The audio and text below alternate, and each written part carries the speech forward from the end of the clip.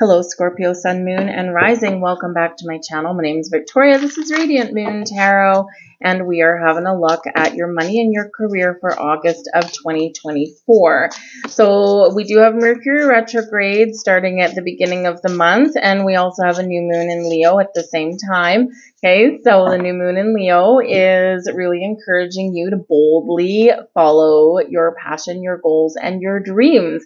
So if there's something that you've been putting off, something that you really want, this is a great, bold, inspirational energy for you to take the lead, to take charge, and to manifest something into your life or get started on that project that can make you some money, all right? Or even just try something new, try something different so that you can hopefully um, bring in a little bit more financial abundance into your life. We do have on the 19th of August a full moon in the sign of Aquarius. Look back to the beginning of February to see what you were manifesting back then or to see what new beginnings that you had somewhere around there at the new moon in Aquarius, because this can be where things come to fruition for you. So some of you could be receiving something. It could come in quite unexpectedly for you as well, um, because Uranus is the modern day ruler of Aquarius. Uranus brings freedom, brings a little bit of rebellious energy, just so you're aware, and um, can bring something very unpredictable and something very unexpected. So it could be some shakeups and things like that, um, but they can be in, in, alignment with your goals. There could be some unexpected turn of events that go around, um, especially with a full moon um, in that energy. But Full moon's great time to pause and reflect, to think about what is holding me back. Where do I need more courage? Where do I need to take more initiative? And uh, yes, like I said, you could have something coming to fruition for you. So let's pull out your cards. We've got balance. Balance, very important. Page of Cups. Fortune teller. Hmm, got a little bit of mysterious energy coming in here for you. Uh, the Four of Cups.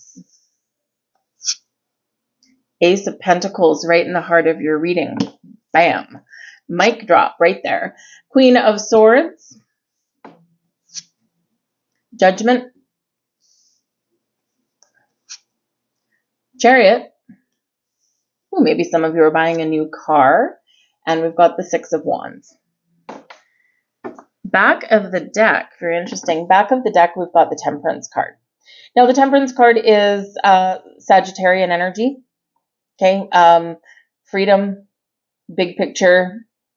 Um, Sagittarian energy is, well, maybe a little bit rebellious sometimes, but is, you know, really creative and makes bold, strong moves, right? Ruled by Jupiter, expansion, growth, good luck, good fortune, all of that kind of stuff. But the temperance card is your guardian angel card, right? So you're guided in a certain direction and uh, you might be seeing some signs. So follow the signs.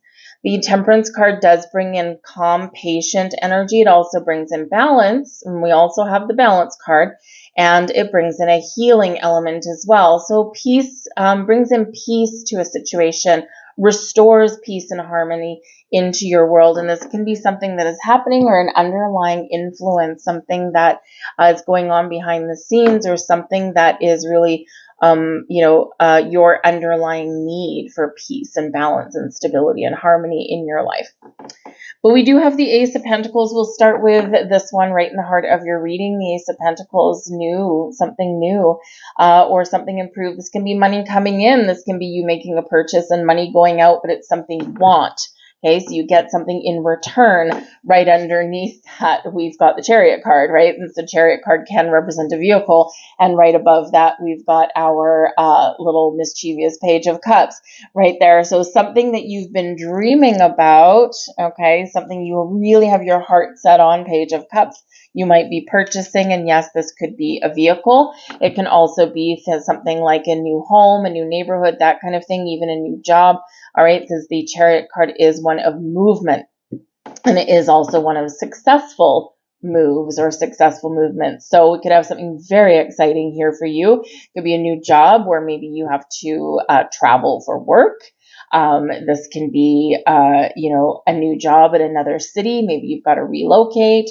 Um, uh, but it's something very exciting for you. The Ace of Pentacles can bring in all kinds of new financial beginnings, This can be your investment opportunities, your new jobs, the seed, the potential of something here that can grow into the Ten of Pentacles. And the aces do bring um, some good luck anyway, um, but the Ace of Pentacles can actually bring you fortune. Uh, it can be very, very lucky. Um, it can be anything from five bucks that you find in your pocket. Um, and maybe you have an op- maybe you can uh, you know go buy a lottery ticket or something like that with that and hopefully make it a little bit more you never know um, you know it can be a windfall right? Um, but when we have the Ace of Pentacles, we've got this fresh money energy um, that is very much casting a wonderful light over your entire reading. Now, with the Balance card, the Page of Cups, and the Fortune Teller, especially, you probably haven't seen that card before. It's kind of a little bit freaky and a little bit cool all at the same time.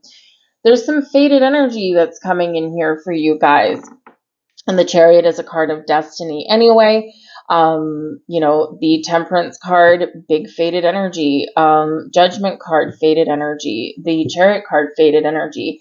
And the fortune teller shows there's something uh, a little bit, how should we say, a little bit mystical and magical that is going on. Number one, um, the beginning of the month right here, new moon in Leo. Fortune teller, be your own fortune teller. Set your intentions what is it that you're dreaming about? Page of Cups. What do you have your heart set on? What do you envision for the future? What do you want to create? Where do you want to see change? Where do you want to see growth? Okay, this shows the power that you hold within you to manifest something into your life. So you just never know what may happen. Quite often we do get a surprise when the Page of Cups comes in. Um, we also get a little bit of an awakening with the Page of Cups here as well. Your intuition is very much on point. You're very connected with the stars, the stars, the universe, um, with the moon cycles. And so use that power to your advantage. This can also be uh, something coming true for you. All right. Maybe something was predicted, or maybe you've had a little bit of uh, insight yourself. You could have some deja vu that goes on. You could just be uh, seeing a whole bunch of signs, symbols, and synchronicities, and they are pointing you in a in a certain direction, or they're giving you a little bit of heads up. So very very spiritual, mystical, magical, and maybe in some ways a little bit unexplainable energy here right at the beginning of your reading. But make a wish though in this energy because the Page of Cups can be something that you didn't expect, right? It, and because it quite often does have a surprise element to it. Okay. And it's like something you've been dreaming of, but maybe you don't quite 100% believe could happen. And because we do have the Ace of Pentacles, which tends to be a gift from the universe, this can be something that you truly have your truly have in your heart's desire but this also speaks to your ability to create. So perhaps for some of you, your key to making money is through your creative side. Not everything is logical, not everything is boring. So maybe you're looking for something fun and something that you can really use your creative strengths as well. A lot of you are very creative here, Scorpio. We do have balance here for you as well. So perhaps part of the life that you want to create or the new beginnings or the new outlook or the new way you conduct yourself is with the key of balance in mind. Remember, we've got the temperance card bringing you balance here as well.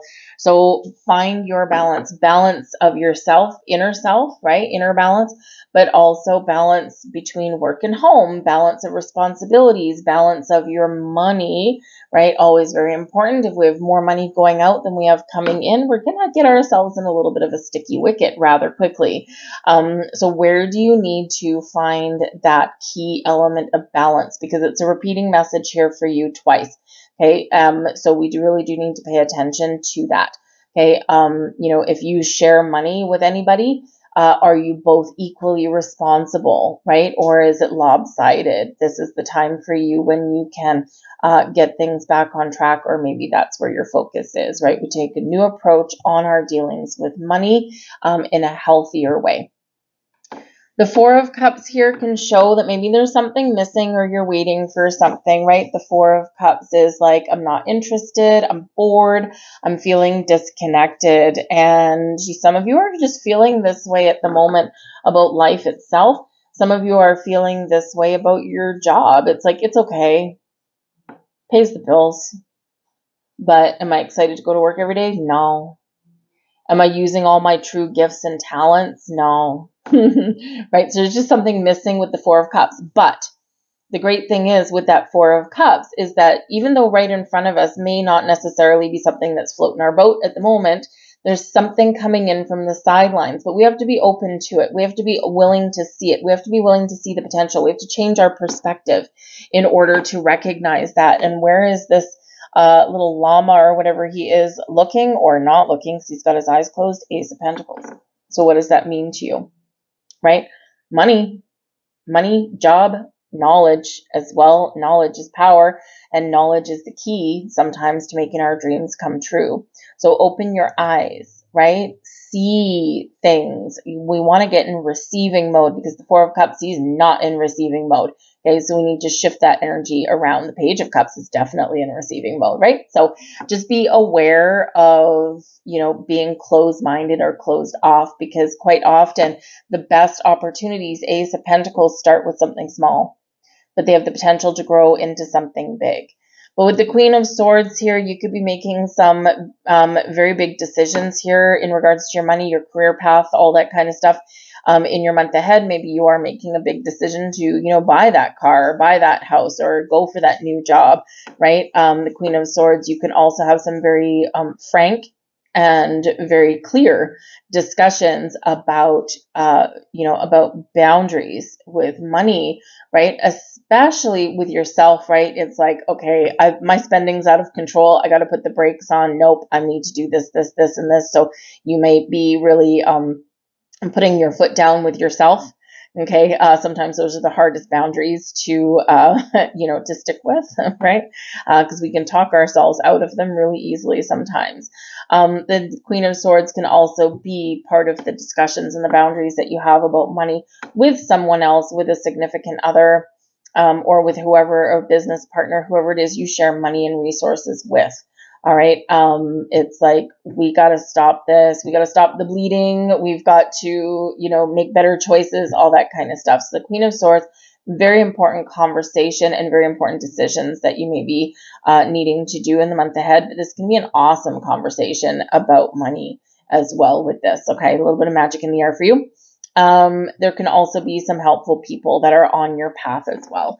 But again, decisions, judgment card, you might be getting clarity on something. You might be even, um, you know, answer literally answering a call. Okay. Quite often the, the judgment card is like we've answered the call or our prayers have been answered.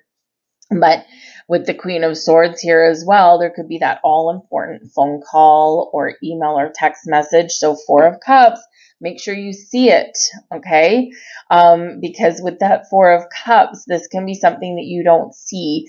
Um, so because we've got Mercury retrograde at play, we cannot ignore it, all right? Um, check your spam folders. Check your deleted items. Check any alternate email accounts that you may have. Double check, especially if you're going for a new job or something like that double check and make sure people have the right phone number for you that they can get a hold of you. All right. Because someone's calling. Okay. The judgment card can also be about seeing the light, seeing the light at the end of the tunnel, seeing the truth, seeing where you want to go, having a deep sense of knowing about something and knowing that you are making the right decision. We are assessing something here with the judgment card. Something hidden may come to light for you, something you didn't see. It might be something quite unexpected. But the judgment card can also represent that we've got this energy of forgiving and healing and maybe even restoring balance, right? But we've got to maybe let something go, kiss something goodbye so that we can move forward in a better direction. Um, and this can also sometimes represent second chances. So you may actually have a do over. Um, available for you here. But the judgment card, right, making those all important decisions. But we do have spirit connection here big time for you guys. So very much Ask for help from your spiritual soul tribe if you need it. But remember, manifest away. Okay. Manifest, manifest. Attach feelings, page of cups to whatever you're manifesting, ace of pentacles. And it will have a greater resonance with the universe. And chariot card, we already said card of destiny. This can be uh, a vehicle. This can be movement, moving from one situation to another. It is an energy of success and overcoming obstacles. So whatever decisions that you make, your actions that you take are going to get you to where you want to get to with the Six of Wands, which is also an energy of success, being rewarded in some way, and also maybe even getting recognized, public recognition perhaps for some of you here with this energy but the stars are aligning for you. The chariot card is a card of destiny where your wishes, your dreams, your goals come true, the planetary influences, right? Something is aligning for you. But the chariot card also speaks to your ambition, your willpower, your drive, your determination, and your actions, which are really what will get you to where you want to go. And remember, the universe will align people and places and situations and opportunities for us but it's up to us, Chariot, to act upon it. All right. Um, we don't always get everything handed to us on a silver platter, but with the Six of Wands here as well, this is like, I did it. I'm feeling good and I am moving in the best direction possible. So it's an awesome energy. A little bit of magic in your month. Let's pull some money manifestation cards. We've got Counselor, Destiny. Man, telling you, there's some little mystery here for you. We've got a key with travel. Fear of failure with a padlock. Okay. The key unlocks the padlock. All right.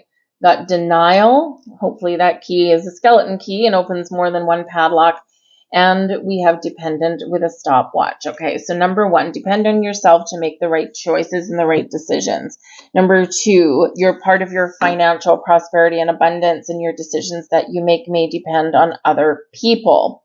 Okay, and the dependent energy is saying you can't fully come into your power if you rely on others for financial support. So, you know, this is really about dealing with money matters, um, taking responsibility. Okay. And, um, you know, it's also, well, maybe there's people dependent on you, or maybe you're dependent on other people, but how can we restore the balance in that? Um, we do have two padlocks here. So uh, with the key there, though, is unlocking the things that are locked for you, right? But we do need to face things. Fear of failure. Do we have a fear of failure? Or, you know, remember we've got that Four of Cups sitting there. Okay, we're closed off to something, or we're not seeing something, or we don't want to see something. All right, and sometimes it's fear. It's like, I want this thing, but I'm just going to close my eyes, right? Um, you know, because fear of failure can be quite debilitating. All right, and fear of failure can stop you from even trying. So we don't want that. We want you to be open and we want you to go for the gold. Um, we've got denial here as well. The judgment card, there's something hidden Okay, um, with the denial energy, is it something you are purposely not wanting to see? Remember that Four of Cups as well, right? And so we got to see the truth. The, the Queen of Swords will help you in that energy. See the truth and get things out in the open so that you can make a decision, you can deal with issues, and you can move forward, right? And sometimes it's fear that's hidden. But we do have destiny here for you. Okay, you have some sort of destiny that's being fulfilled in your career path. All right. Um, and this particular card says that part of your work for some of you here will help elevate the consciousness of the planet in some way. It can be a small, tiny way. It can be a big way. All right. We also do have counselor with the star in a jar. And for some of you here, maybe your path um, to financial freedom and prosperity may be by helping other people. Your compassionate nature makes you a good listener. Your advice is sought after and your opinion is a valuable commodity. So think how can you translate that into money? How can you translate that into a career path, maybe even a brand new career path or you know, um, succeeding where you are now, right? So you can use a lot of skills and talents to make money. And so that may, message might be for some of you, but I do feel there's a mystery something mysterious going on. So keep an open mind, keep an open heart here, guys. All right. Remember that Ace of Pentacles right in the heart of your reading. Bam. I'm gonna leave all that there for you guys. I hope there was something here for you. If so please do like, share, subscribe, all that wonderful stuff. Any interaction with from you in on the video does help it get seen. So I thank you in advance. Um, but I hope you guys have a wonderful month ahead, and I'll see you next time. Bye bye.